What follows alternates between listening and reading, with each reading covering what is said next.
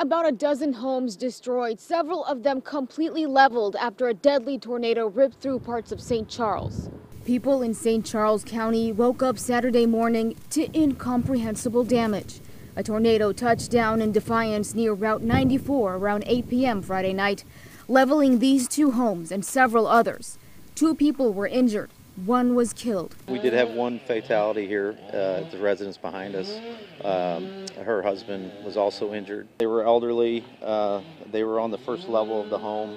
Um, one was in bed, and uh, one was uh, apparently up getting a glass of water. Strong winds blew the house across the field. They were 100 yards away when they were found. The woman was transported to the hospital where she passed away. A barn on Highway F had collapsed. One person was trapped inside along with five horses.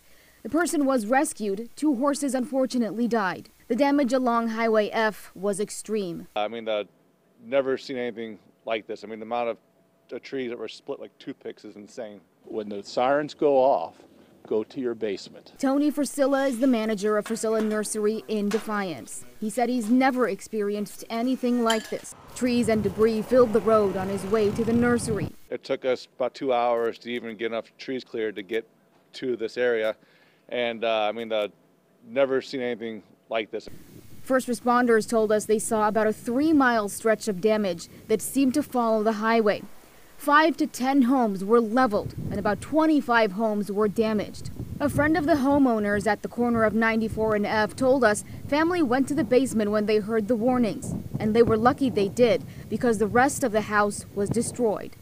Power crews worked for hours to repair damaged lines. And we've uh, uh, relied heavily upon uh, the, the, the, professionals, uh, including we want to thank uh, Ameren and Cuivre River for getting out here and uh, the only thing holding us back last night was the power lines that were on the road, and, and, we really couldn't send our people out to start clearing the roads until they got here. Frisella says the business sustained damage, but they were lucky.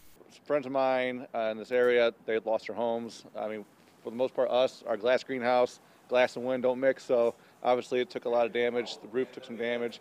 A couple greenhouses came out of the ground, but I mean, for all in all, compared to everybody else, we, we fared, we did fare pretty well. We have uh, asked for the assistance of AmeriCorps, the Salvation Army, uh, the Red Cross, and uh, other volunteer organizations who are on their way out here. In Defiance, I'm Alla Araby.